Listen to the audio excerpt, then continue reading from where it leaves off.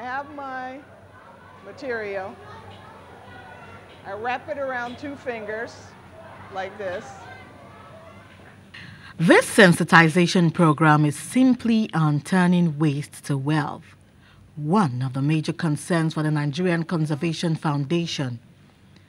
It is the turn of Metropolitan School and its community members to get knowledge about the benefits in wastes.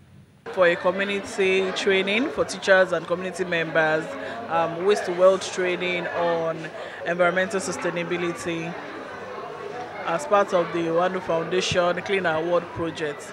The main aim of this um, training is attitudinal change towards um, waste management. We want them to know that there is the waste is not wasted until it is totally wasted. So we believe that um, with the way um, this empowerment program is going, we are empowering the community members and um, it will also come as a source of livelihood for them if they begin to um, take this if they if they if they um, embrace it and start doing it and then probably um, training other people.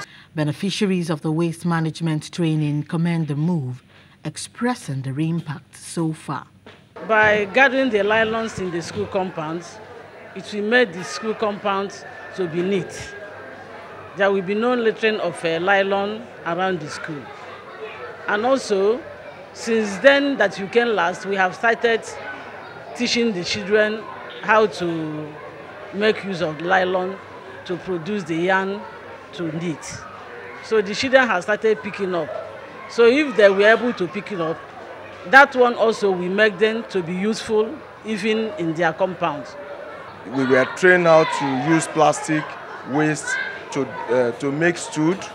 We were trained how to use plastic, um, these uh, bottle break, uh, broken bottles to make a design, how to use plastic waste to make a flower uh, decoration in your house, which all the parents uh, at least have been doing and snapping and sending the pictures to us uh, on the platform.